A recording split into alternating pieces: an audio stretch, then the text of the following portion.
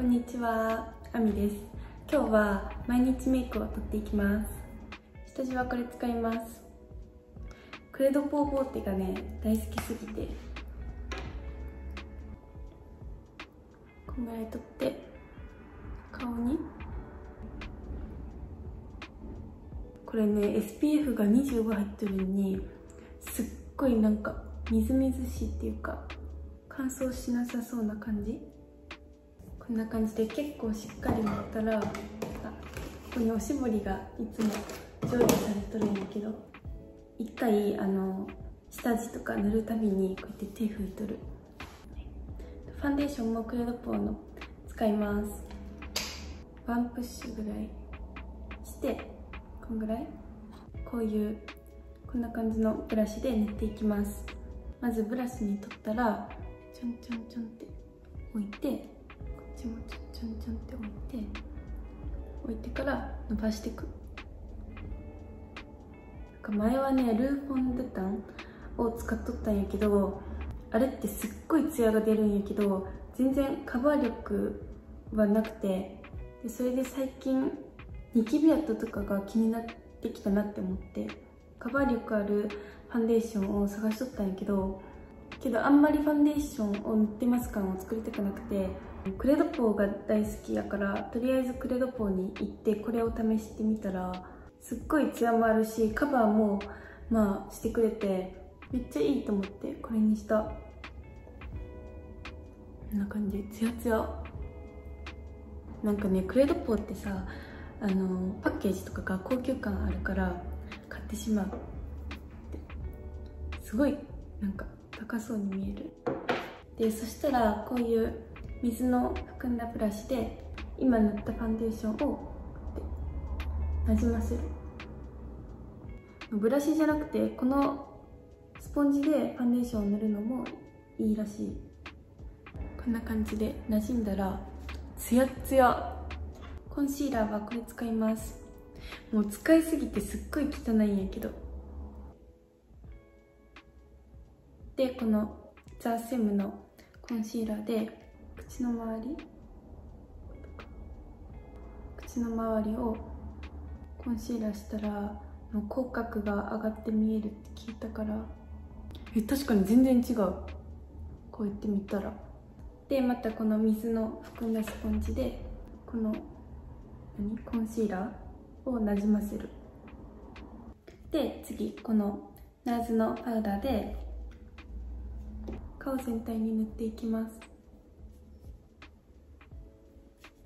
眉毛はまずこのスクリューブラシで整えてからこのマキアージュのやつでここの2色を使います。眉毛全然変わってないかも。まず下の線を引いて上を引いて中を埋める。こんな感じ。こっちも下を引いて上を描いて中を埋める。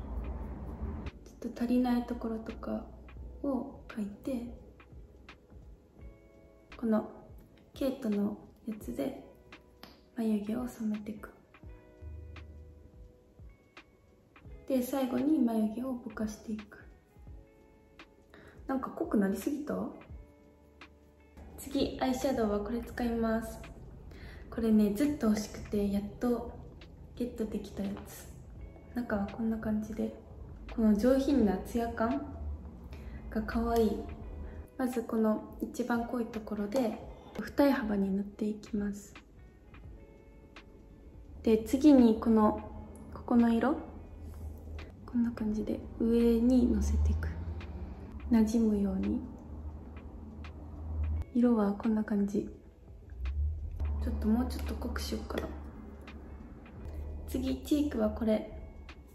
もう全部のメイク動画そんないっぱい出しないんやけど全部にこのチークが出てきてる。チークはちょっと高さの高いところにつけてなじませる。なんかこうやって斜め上みたいな感じで入れとる。今日はマウントレーニアじゃなくてこれ飲みながらメイクしとる。ダイエット中やからたくさんあのタンパク質を取ろうと思ってこれねタンパク質が12.5ここに書いてあった。もう入っとる。このカフェラテ風味が普通に美味しい。でチーク終わったら次ここの色ででハイライト塗っていきます。ちょっと塗っただけで見てこのツヤツヤツヤ感。こんな感じ。可愛くない？これ。アイシャドウとチークが欲しくて探しとったんやけどどっちも行きますよって店員さんが教えてくれたから。次ビューラーでまつげ上げていきます。次マスカラ下地はこれ使います。これね美容液も入ってるらしくてその美容部員さんに待ってこんな感じ白くなる。美容部員さんにこれねビューラーシンクでもまつげがカールされるんですよって言われてえそんなことある？って思ったんやけど美容部員さんがいい人すぎて買ってしまった。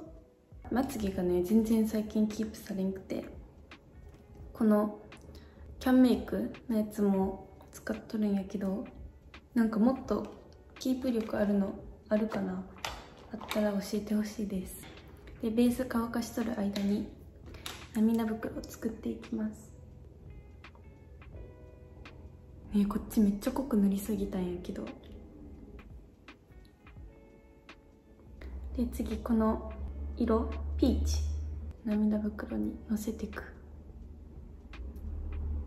で最後にここの白色をちょっと手に取って黒目の上だけつけとく。マスカラのベースが乾いたらこれ塗ります。あのまつげパーマの取りかけの時期が嫌でまつげやろうか迷う。でアイライナーはこれ使います。わかるかな？こんな感じで。平べったくなってるんやけどすっごい描きやすくて。もう3本目ぐらいこれ。えっとねムーブラウンやったかな？この色が大好き。完成です。あとはリップ塗って髪の毛をセットして着替えて終わりです。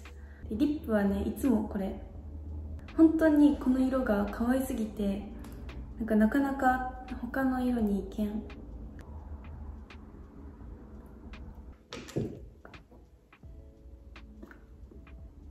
ィッシュを振って完成。